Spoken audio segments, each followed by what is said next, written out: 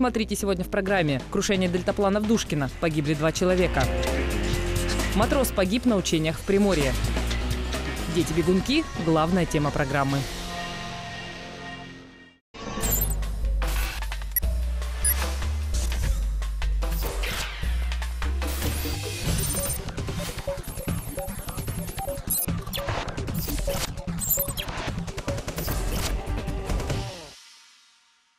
Мужчина и женщина разбились на дельтаплане в селе Душкино под Находкой. Происшествие случилось утром 19 августа. Крушение дельтаплана произошло при посадке. Известно, что мужчина – житель Амурской области. Личность женщины не разглашается. Подробности происшествия сейчас уточняются.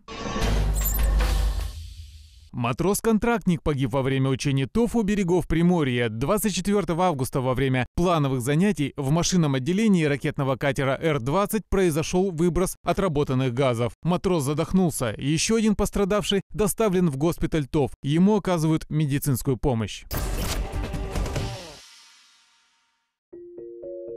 Почему дети сбегают из дома? Только в этом году во Владивостоке сотрудники транспортной полиции задержали шестерых подростков, которые приехали в город у моря за романтикой и на поиски приключений. География побегов широка от Москвы до Южно-Сахалинска. Летят самолетами, добираются автостопом, ночуют в подъездах, голодают, но бегут. О детях-бегунках рассказала в интервью нашей программе Елена Дремина, начальник подразделения по делам несовершеннолетних Владивостокского линейного управления на транспорте.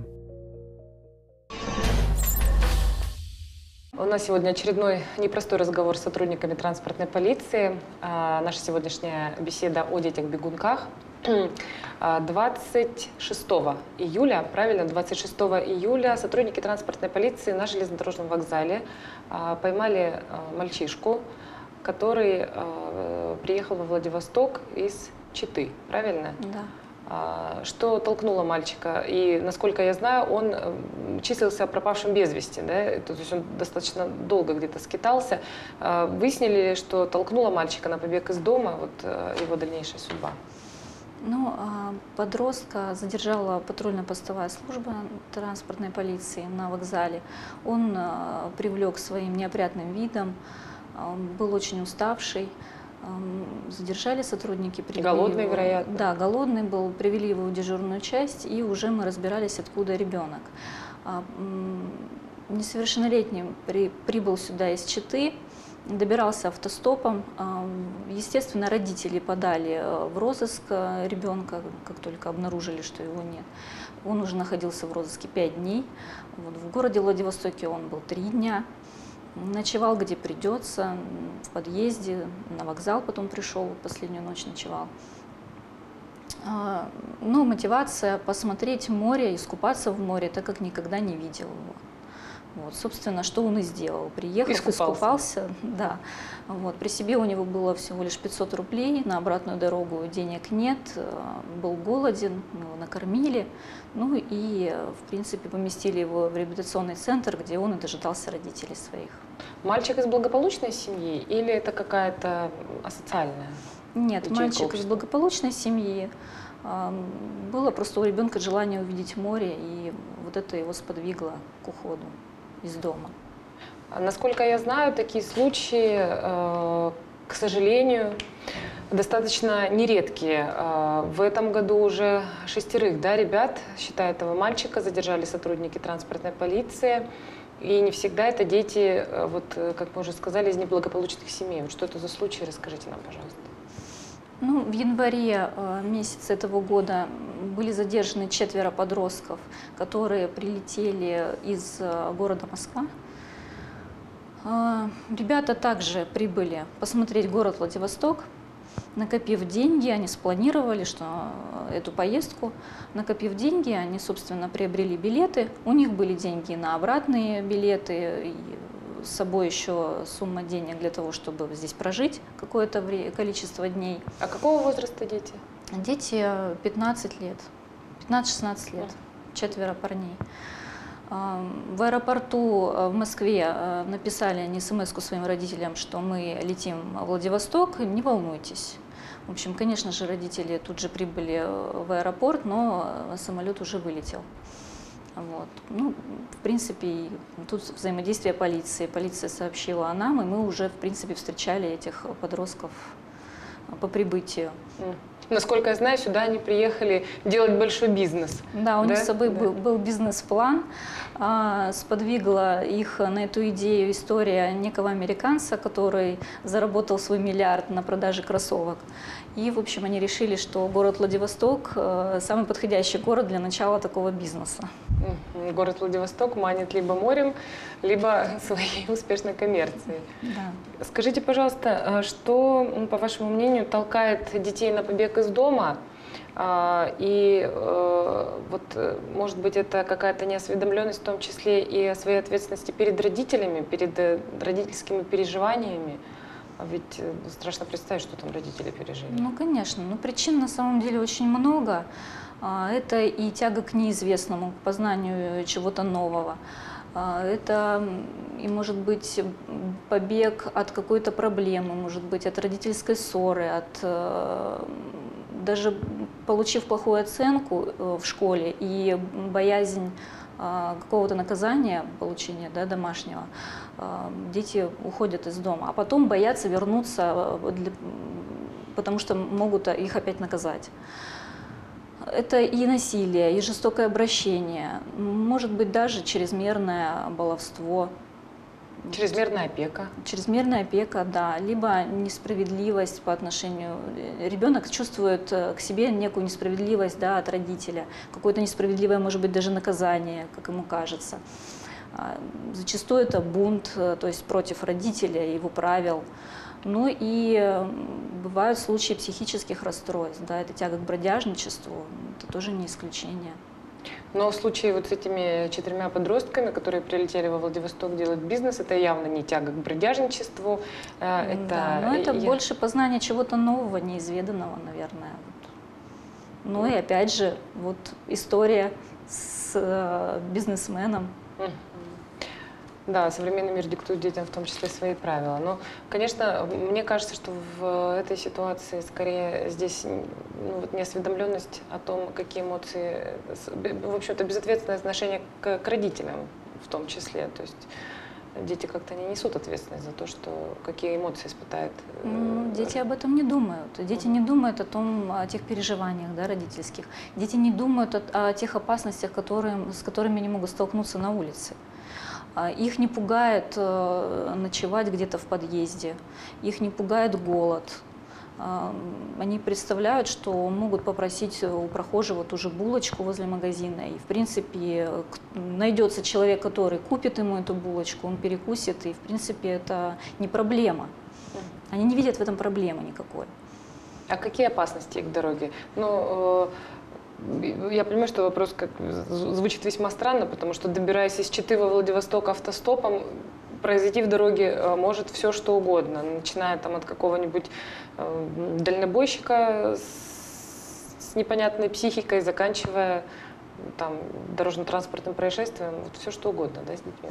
Все-таки ну, вот давайте об опасностях конечно. еще раз предупредим а, наших зрителей. Ну, во-первых, э, ребенок может да, сам попасть либо под машину, э, либо с ним, ним что-то может случиться. Если это зима, где-то можно ведь и заболеть, и замерзнуть даже.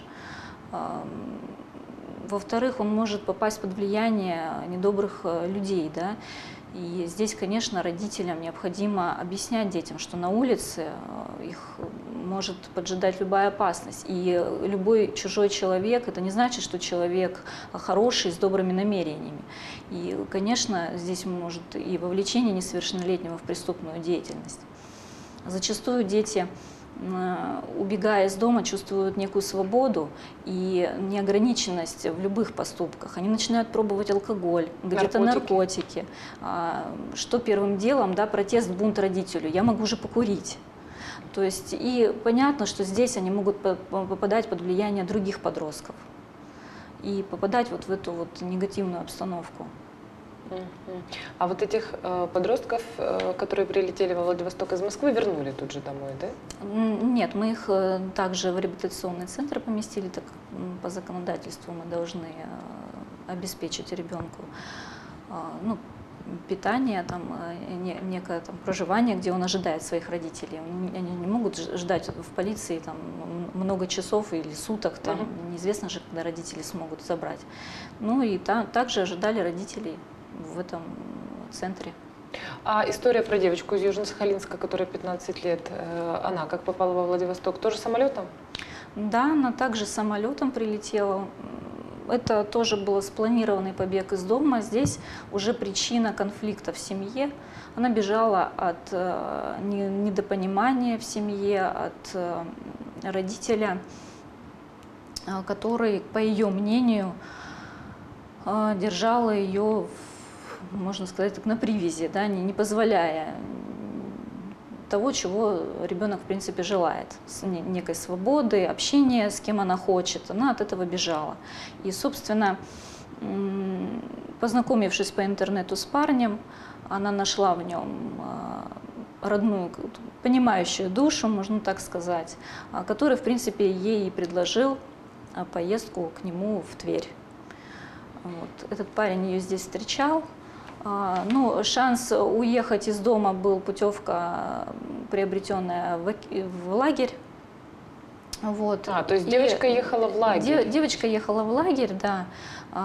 До лагеря не да, доехала, видимо? Должна была самостоятельно прибыть туда, была приобретена путевка родителям.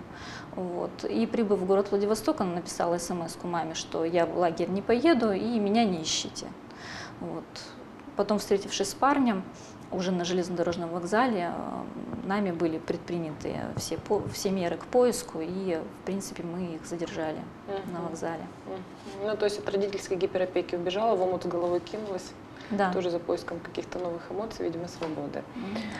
Понятно. А скажите, пожалуйста, дети, которые бегут из дома, какого, как правило, возраста? Это явно какие-то вот подростковые, да, вот возраст тени?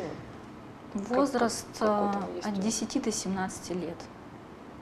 То есть это могут быть, да, вот как вот маленькие, да, там, ну, относительно маленькие, 10 лет, и уже подростки вот до 17 лет.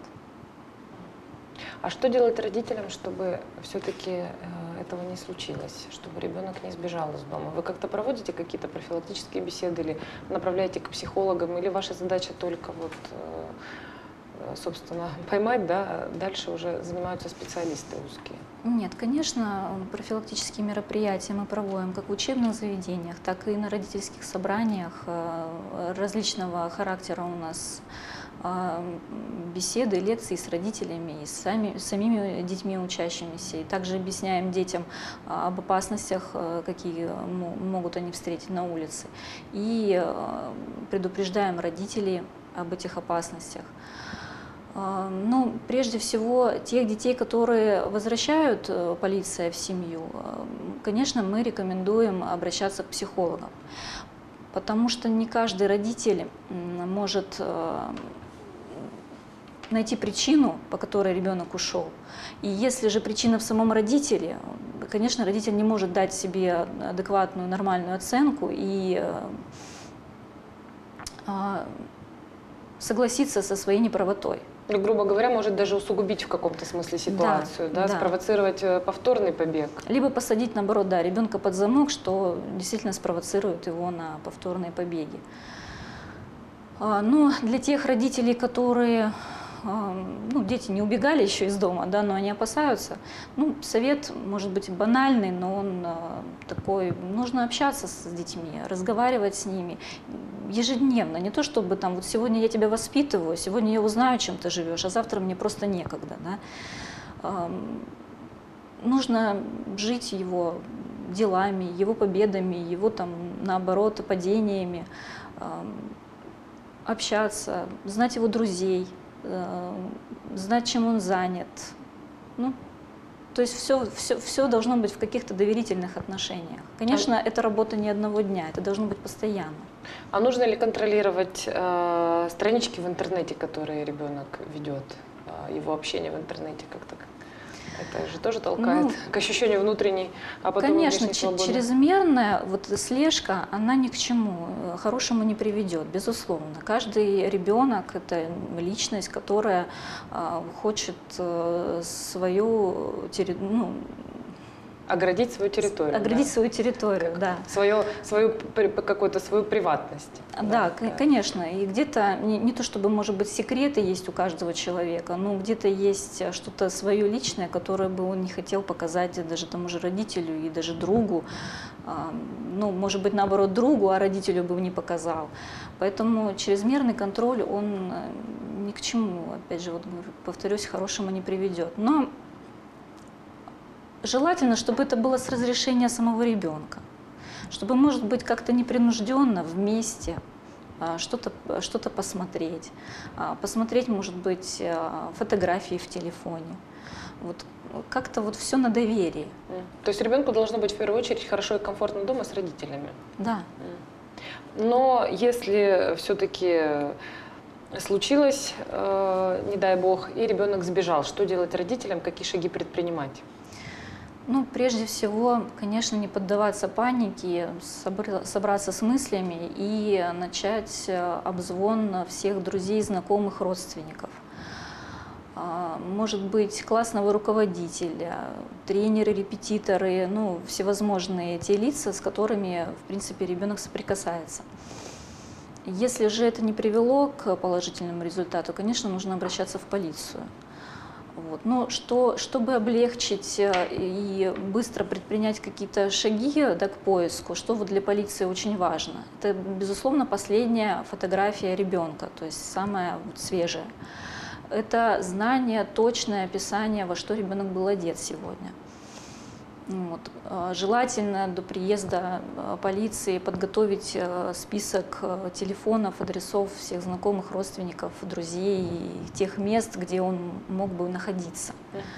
Вот. Ну, а там уже по то, что будет уже советовать полиция, уже совместно подключаются волонтеры, общественность. С разрешения родителей идет распространение фотографии ребенка и уже ведется активный поиск.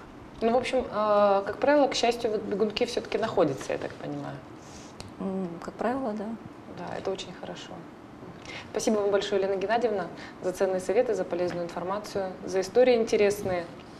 Будем надеяться, что э, в городе Владивостоке, в нашей стране дети будут меньше убегать из дома. Да, будем надеяться. Если вы стали очевидцем интересного события, присылайте свои материалы на нашу редакционную почту или WhatsApp.